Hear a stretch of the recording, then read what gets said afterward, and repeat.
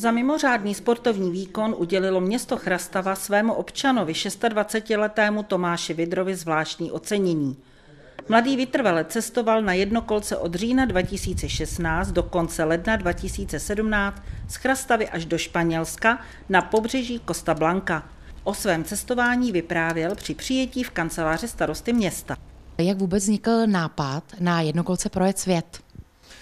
Tak eh, já na jednokol, já se jednokolce věnuju už 10 let a napadlo mě vlastně, protože to cestování je takový velice nepraktický. Většina jezdců si dává věci na jednokolku a na záda, což potom na dlouhé vzdálenosti je špatný. Tak mě napadlo, že bych zkusil vozejček, který už jsem vlastně jednou testoval, akorát teď jsem zkusil ho tlačit před sebou a ono to vyšlo, tak mě napadlo, že jsem chtěl cestovat, jsem mladý, rád bych potkal, poznal svět trošku, tak, tak jsem prostě vyrazil na, jižní, na nejjižnější bod Evropy a téměř jsem ho teda docí, dosáhnul, ale to mě čeká teďka. No. Jak dlouho jste vůbec na cestách byl? Uh, celkově jsem cestoval tři měsíce na jednokolce a pak jsem 20 dní šel pěšky, protože mi ukradli ve Španělsku jednokolku, no já jsem se nechtěl jen tak zdát, tak jsem šel pěšky prostě.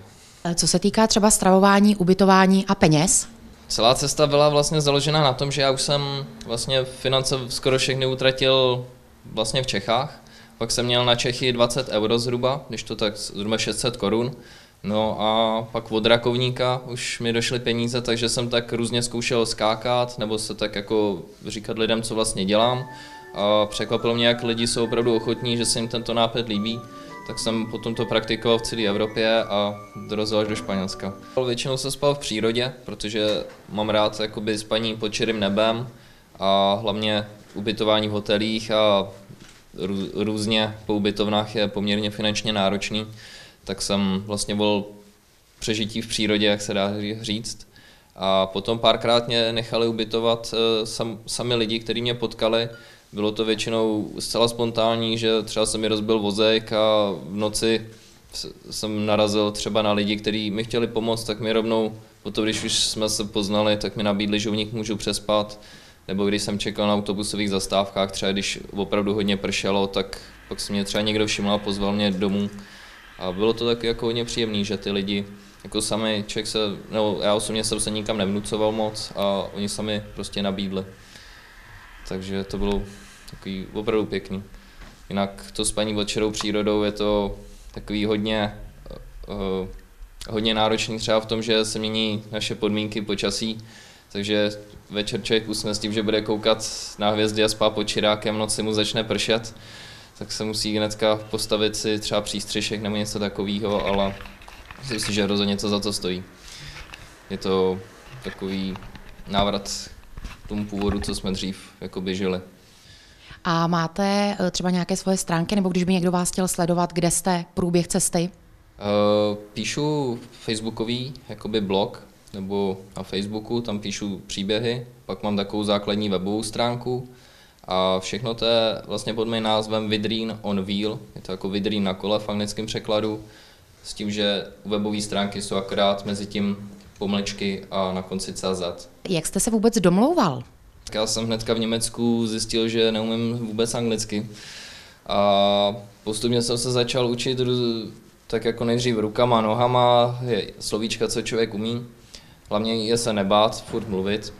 I když tomu člověku nerozumíte, je to takový hloupý, ale co se dá dělat. No a postupně jsem tak jako, jsem tam s nějaká slovíčka a, a potom jsem další dobu trávil ve Španělsku, tak lehce i španělsky jsem se naučil. A co se týká zdravotního stavu, byly na vás přichystané nějaké nástrahy, třeba počasí a podobně? No, počasí bylo ze začátku hodně těžký. Eh, prvních zhruba 20 dní jsem téměř denně zažíval déšť, takže jsem, a byl jsem i hodně unaven, protože to byl docela nezvyk spát denně venku, každý den vlastně jet na ty jednokolce, která je i částečně nevýhodná v tom, že musíte každý metr ošlapat sami, nelze zastavit jako na kole, že byste třeba měli cvrčka. Ale myslím si, že až na pár různých detailů jsem to zvládl, třeba by mi nachladla ruka, takže jak jsem tlačil vozejk, tak to bolelo. Potom těch posledních 350 km, i když jsem šel čistě pěšky, tak eh, nohy to hodně zažily. A jinak si myslím, že jsem zdravotně to dal poměrně dobře. Žádný nemoci velký nebo tak. Většina vylečil zázvor a česnek a cibule a jinak se byl zdrav. A do budoucna chystáte nějakou cestu v nejbližší době? V nejbližší době se vracím zpátky do Španělska a chci jet dál do Maroka, projet trochu Maroko a dál nevím, jestli se zase někde zastavím, vrátím do Čech na chviličku, nebo, nebo jak to bude. Je to takový, nemám zcela úplně striktní plán, že bych prostě musel něco projet za každou cenu a když přijde nějaká zajímavá nabídka, tak rozhodně si ji většinou ujmu.